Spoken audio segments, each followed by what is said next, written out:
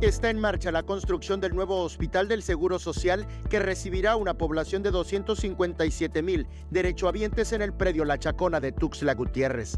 Son 144 camas, además de mucha eh, capacidad resolutiva, 12 unidades de cuidados intensivos, 7 quirófanos, salas de expulsión, unidad de, eh, de hemodiálisis, unidad de hemodinamia para intervencionismo cardíaco que no tenemos en Tuxtla para atender emergencias, eh, infartos, eh, clínica de mama, el oncocrean para que podamos tener aquí atención directa a niñas y niños que tienen cáncer y que no tengamos que trasladarlos a otro, a otro lugar.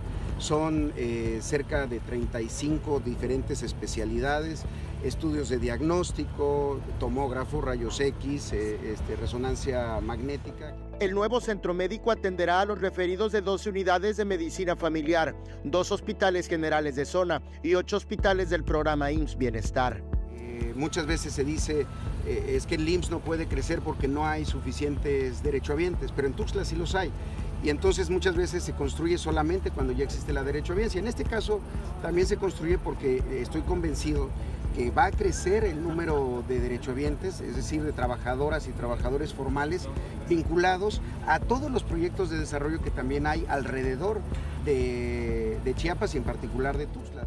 Este fin de semana el director general del IMSS, E. Robledo, supervisó el avance de la obra cuya inversión será del orden de los 3.478 millones de pesos totales en materia de obra civil y equipamiento. El hospital, eh, con las 144 camas, va a tener una plantilla de 1.200 trabajadores, entre médicas, médicos especialistas, médicos generales, enfermería, personal de administrativo, higiene y limpieza, camilleros, conductores de ambulancia, pero son 1.200 personas. Nosotros tenemos que empezar a hacer un trabajo de reclutamiento prácticamente desde hoy. Con la construcción del nuevo hospital se logrará un avance en el porcentaje de camas para la población de Tuxtla Gutiérrez pues actualmente tiene un nivel de .42 camas para toda su derecho a biencia.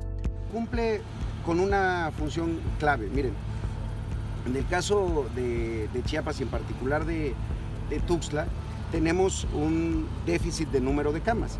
Eh, la norma internacional es una cama por cada mil derechohabientes. En el caso de Chiapas tenemos .42 camas por cada mil derechohabientes. Con esto vamos a incrementar ese número de camas. Zoe Robledo puntualizó que la de Chiapas es una de las capitales que tiene más trabajo formal. Aseguró que el 75% de los tuxtlecos son derechohabientes del IMSS. Eric Ordóñez, Alerta Chiapas.